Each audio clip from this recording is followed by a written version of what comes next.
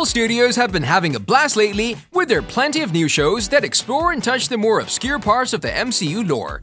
Hit series such as WandaVision, Marvel What If, and possibly the most fan favorite one, Loki. Loki is possibly the most popular of the plethora of shows due to the fact that it's about an alternate timeline where Loki gains access to the Tesseract Cube, in which he opens up an infinite number of alternate realities, timelines, and dimensions. So stay with us and find out about Lady Loki First Look. This was something I could never have seen coming. Due to the wackiness the plot this show has, it's safe to assume that eventually, over its duration, we'll see something quite different take on the beloved villainous god of mischief. It's important to draw some parallels when it comes to the traditional myths surrounding Loki in Norse mythology and the modern-day portrayal that the comic writers are Marvel have brought us, straight into the most popular version of the character, the MCU villain played by Tom Hiddleston, in Norse mythology, Loki is portrayed as a shapeshifter, which eventually leads us to the fact that he could transform into a woman. Adding on to that, the comics have had a more political take on this image by making Loki gender fluid, which, if we being honest, makes sense. Now, when it comes to the well-known and lovable Hiddleston portrayal, we're given a character that is so iconic to its cinematic universe that it could be practically impossible to portray him in a different way for an extended period of time. Luckily, the geniuses over at Marvel Studios came up with a brilliant idea to introduce a completely new, fleshed out and different character within the show's own image. That character, of course, being Lady Loki.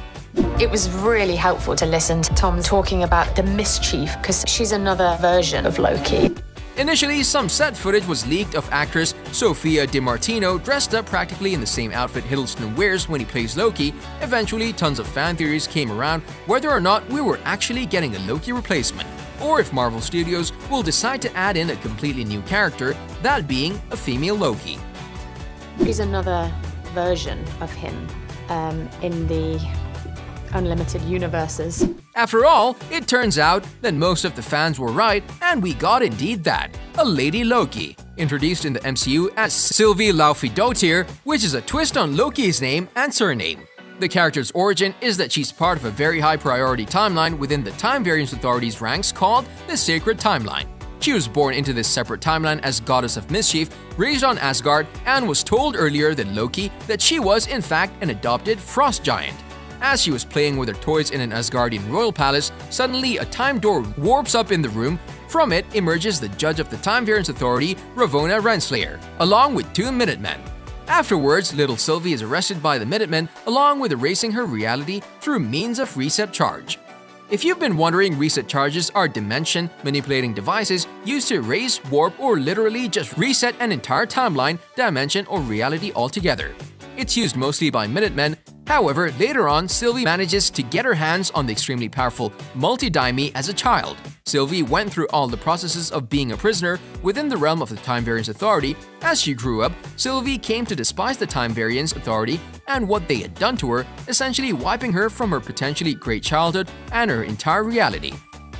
She had no choice but to grow in spite of them, in which she vowed to destroy them for what they had done to her and her entire reality. As her first attack, Sylvie had transported herself into a province in France in the 16th century, during which she attacked a group of Minutemen from the Time Variance Authority through means of stabbing. After which she continues straight on onto many other misadventures and timeline shenanigans. Afterwards, she intruded onto Salina, Oklahoma in the 19th century and trapped a couple Minutemen troops, However, Lady Loki was eventually spotted by the Time Variance Authority, dropped a lantern, and continued with burning the Minutemen. She also spotted a hunter from the Time Variance Authority and proceeded to kill him before he managed to steal the reset charge. Soon after, Sylvie travels to Wisconsin, this time during the 80s, and sets up another trap for the Minutemen troops that are after her. However, when they showed up, she managed to enchant their commander, a hunter called Hunter C-20, and use her to fight and kill her subordinate Minutemen. After being asked of her intention of all of this chaos, Sylvie simply responded with the childish answer that she's simply having fun. Eventually, through means of negotiation, Sylvie managed to get information from this particular hunter and found that the entrance towards the Timekeepers was in fact a golden elevator. Eventually, the heroine finds herself teleported into the Time Variance Authority office and starts fighting all the Minutemen that come her way. Eventually, Sylvia meets with Loki and he confronts her by asking her a multitude of questions whether she's a Loki variant. However, all these events eventually lead to the two fighting. Loki came up with an idea to work together with her. However, Sylvie got quite annoyed at such a suggestion, as he also implied that she lacked the necessary capability to see what she's truly capable of, where her powers can lead her. The fight ended with neither of them winning, but Sylvie acquiring a prized TemPad, which is a device used by the Time Variance Authority to open and control time doors, as well as time cells. Eventually, the two, both Loki and Sylvie, have a scuffle over the devices, but they get into a very meteor-fueled situation in which both of them have to take cover for each other. In this situation, Loki asks Sylvie why she's not killed him yet, in which he tells him that he is hidden under the TemPad and if he dies, it's lost forever. However, Loki was still interested in forming a team with the girl, and eventually they were put in a devastating situation where they were struck by meteors. Sylvie, during this period, tried to manipulate Loki by approaching him and trying to use her powers to trap him within a memory. The chemistry between the two characters is undeniable. Loki keeps taunting Sylvie to form a truce, or at least accept any sort of bond between the two, while Sylvie keeps pointing towards her goal and her arrogance. However, after all their exchanges, Sylvie revealed to Loki that her master plan all along was to get the TemPad and kill him leaving her to be the only real Loki within all realities. All of this eventually led to an incredible romance between the two Lokis, in which, during its epilogue, they form a closer and closer bond and end up forming a true connection.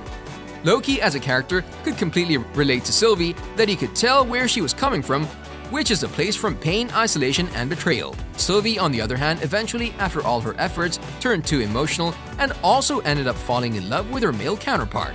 However, her efforts didn't seem boundless towards her goal. After all, Loki just wanted peace within time and space, as Sylvie ended up using Loki to get to essentially the boss of the Time Variance Authority and managed to kill him.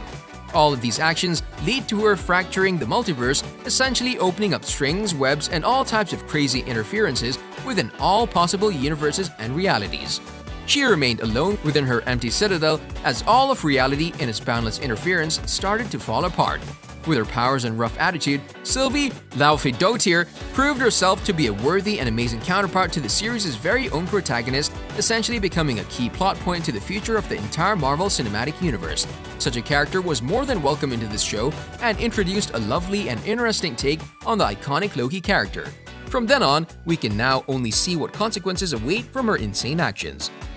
On a related note, we wanted to know which part was your favorite one from our video. You can tell us in the comment section below if you'd like to see more amazing videos such as this one. Don't forget to subscribe to our channel and hit the bell icon so you never miss any of them. And as always, thanks for watching guys.